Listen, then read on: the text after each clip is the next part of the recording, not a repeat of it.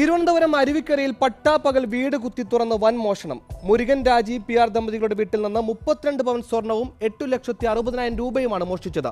മോഷണത്തിന് ശേഷം രണ്ടുപേർ മതിൽ ചാടിപ്പോകുന്നത് കണ്ടതായി അയൽവാസികൾ മൊഴി നൽകി.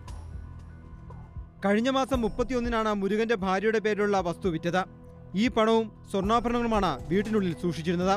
മുരുകനും രാജിയും രാവിലെ ജോലിക്ക് പോയ ശേഷം ഗേറ്റ് പൂട്ടിയിരുന്നു. രാവിലെ പത്തരയ്ക്ക് ശേഷം വീടിന്റെ മുൻവാതിൽ കുത്തി തുറന്ന മോഷ്ടാക്കൾ ബെഡ്റൂമിലെ അലമാരയിൽ സൂക്ഷിച്ചിരുന്ന സ്വർണവും പണവും കവർന്നു. മതിൽ ചാടി രണ്ടുപേർ പോകുന്നത് ശ്രദ്ധിച്ച അയൽവാസികളാണ് മോഷണ വിവരം വീട്ടുകാരെ അറിയിക്കുന്നത്. അങ്ങനെ ഞാൻ നോക്കിയപ്പോഴത്തേക്ക് രണ്ടുപേര് ഗേറ്റിനുള്ളിൽ ചാടുന്നു അപ്പോൾ ഞാൻ പറഞ്ഞു അവിടെ ആളുണ്ടാ? എന്ന് കേട്ടപ്പോഴത്തേക്ക് ഒന്നും മിണ്ടിയില്ല. രണ്ടാമത് കടുപ്പിച്ച് കേട്ടപ്പോഴത്തേക്ക് പറഞ്ഞാൽ ആളില്ല. എന്ന് പറഞ്ഞിട്ട് ആ ആൾ അവിടെ കാർ കിടന്ന് ആ കാറിൽ മുരുകൻ വീട്ടിലെത്തിയപ്പോഴാണ് മോഷണം നടന്നത് സ്ഥിരീകരിച്ചത്. നെടുമങ്ങ ഡിവൈഎസ്പിയുടെ നേതൃത്വത്തിൽ സ്ഥലത്ത് പരിശോധന നടത്തി.